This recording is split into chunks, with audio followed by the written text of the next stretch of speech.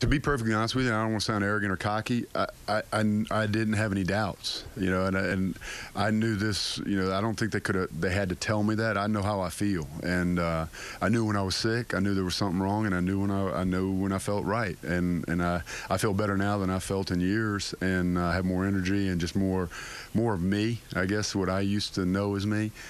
Fischer hopes to be cleared to return full time to work at St. James on August 1st and get right to work with the Sharks football team. So, I mean, I'm, I, I couldn't be more geeked about getting back out there and, and, and just being a part of the team and, and, and trying to see if I can help these kids get a little bit better and, and, and try to get St. James football, you know, to improve. He's grateful to St. James and the entire high school football community for their support during his fight. And the last thing I want to do is be some kind of media hound on this thing, but the only way I can really get it out there and, and, and make it known how appreciative we are and, and how thankful my family is to the, the Murrells Inlet community initially, the St. James community, you know, and then then all the, you know, friend and foe alike all the way across, you know, guys we battle with on Friday night were, were my biggest supporters.